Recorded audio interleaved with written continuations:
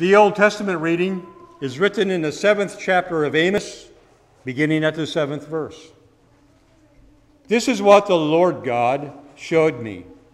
Behold, the Lord was standing beside a wall built with a plumb line, with a plumb line in his hand.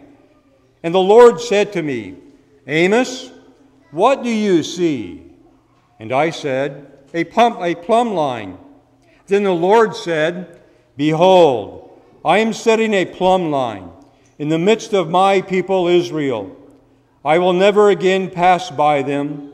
The high places of Isaac shall be made desolate, and the sanctuaries of Israel shall be laid waste. And I will rise against the house of Jeroboam with the sword. Then Amaziah the priest of Bethel sent to Jeroboam, king of Israel, saying, Amos has conspired against you in the midst of the house of Israel. The land is not able to bear all his words. For thus Amos has said, Jeroboam shall die by the sword, and Israel must go into exile away from his land. And Amaziah said to Amos, O seer, go, flee away from the land of Judah, and eat bread there, and prophesy there but never again prophesy at Bethel, for it is the king's sanctuary, and it is a temple of the kingdom. Then Amos answered and said to Amaziah, I was no prophet, nor a prophet's son, but I was a herdsman and a dresser of sycamore figs. But the Lord took me from following the flock, and the Lord said to me, Go, prophesy to my people, Israel. But thou, O Lord, have mercy upon us.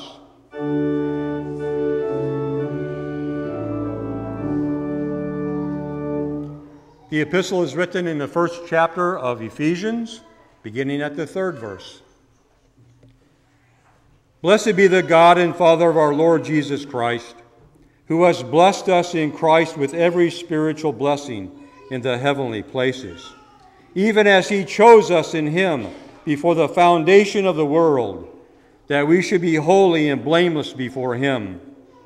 In love, He predestined us for adoption through Jesus Christ, according to the purpose of His will, to the praise of His glorious grace, of which He has blessed us in the Beloved.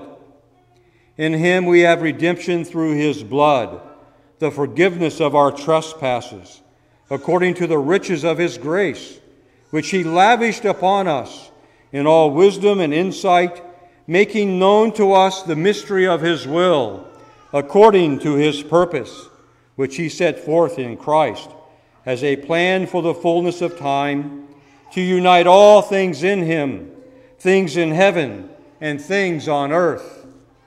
In him we have obtained an inheritance, having been predestined according to the purpose of him who works all things according to the counsel of his will, so that we who were the first to hope in Christ might be to the praise of his glory.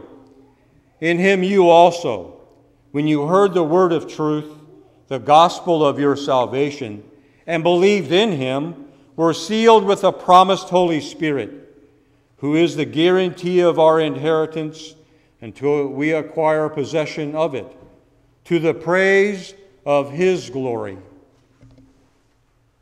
But thou, O Lord, have mercy upon us.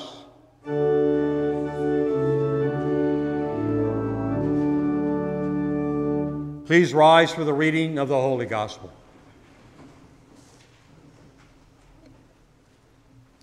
The Holy Gospel is written in the sixth chapter of St. Mark, beginning at the 14th verse. King Herod heard of it, for Jesus' name had become known. Some said, John the Baptist has been raised from the dead.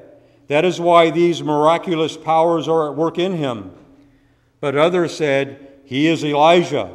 And others said, He is a prophet, like one of the prophets of old. But when Herod heard of it, he said, John, whom I beheaded, has been raised. For it was Herod who had sent and seized John and bound him in prison for the sake of Herodias, his brother Philip's wife, because he had married her. For John had been saying to Herod, It is not lawful for you to have your brother's wife.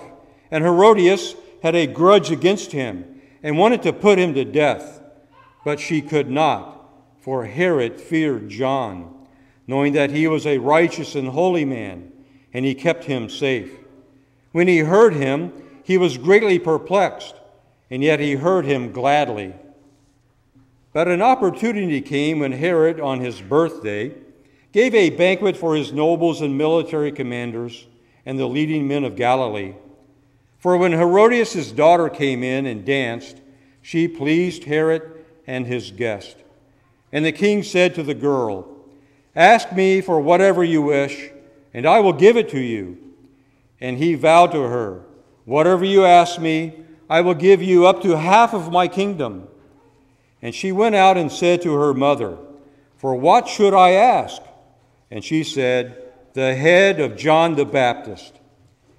And she came in immediately with haste to the king and asked, saying, I want you to give me at once the head of John the Baptist on a platter.